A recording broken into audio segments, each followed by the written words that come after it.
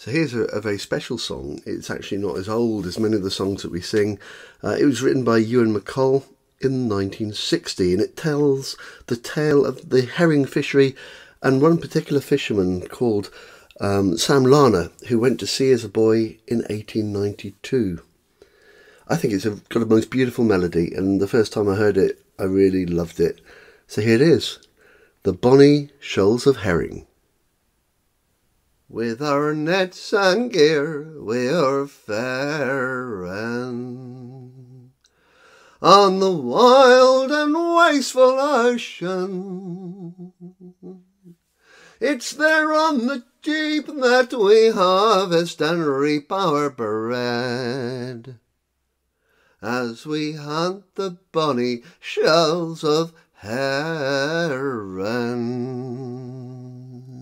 Oh, it was a fine and a pleasant day. Out of Yarmouth Harbour I was faring as a cabin boy on a sailing lugger for to go and hunt the shoals of herring. Oh, the work was hard, and the hours were long, and the treatment sure it took some bearing. There was little kindness, and the kicks were many, as we hunted for the shoals of herring. Oh, we fished the Swarth and the broken bank. I was cook and I'd a quarter sharing, and I used to sleep standing on my feet.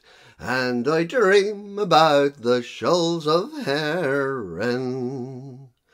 Well, we left the home grounds in the month of June and two canny shields we soon was bearing with a hundred cran of the silver darlings that we taken from the shoals of herring.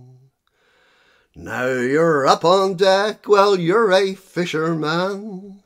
You can swear and show a manly bearing Take your turn on watch oh, with the other fellas while you're following the shoals of herring. In the stormy seas and the living gales, just to earn your daily bread you're daring. From the Dover Straits to the Faroe Islands, while you're following the shoals of herring.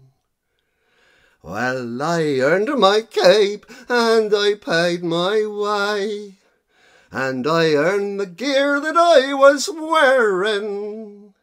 Sailed a million miles, caught ten million fishes.